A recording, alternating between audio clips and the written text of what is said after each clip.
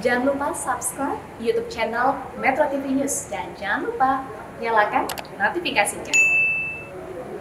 Kementerian Perdagangan akan membentuk bursa kripto untuk mengawasi perdagangan kripto yang saat ini marak diperjualbelikan.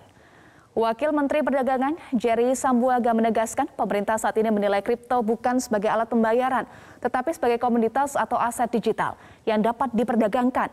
Saat ini transaksi kripto sudah mencapai 470 triliun rupiah dengan rata-rata perharinya sekitar 2,5 triliun rupiah.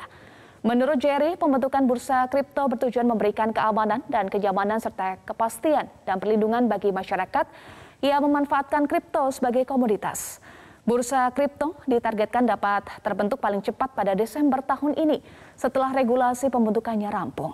Dengan adanya bursa kripto, perusahaan yang ingin menerbitkan kripto sudah bisa terfasilitasi. Selain memberikan kepastian keamanan dan kenyamanan, juga meregulasi dan membentuk ekosistem yang sehat. Nah ini saya pikir sangat penting ya, ekosistem ini dalam rangka untuk mendorong juga para pelaku usaha dan ke depannya nanti juga akan bisa mendorong para pelaku usaha khususnya para trader ini untuk mengembangkan koin sendiri. Koin-koin sendiri yang merupakan produk dari uh, kita bangsa Indonesia yang juga nanti bisa akan jadikan salah satu produk ekspor yang potensial di luar negeri gitu.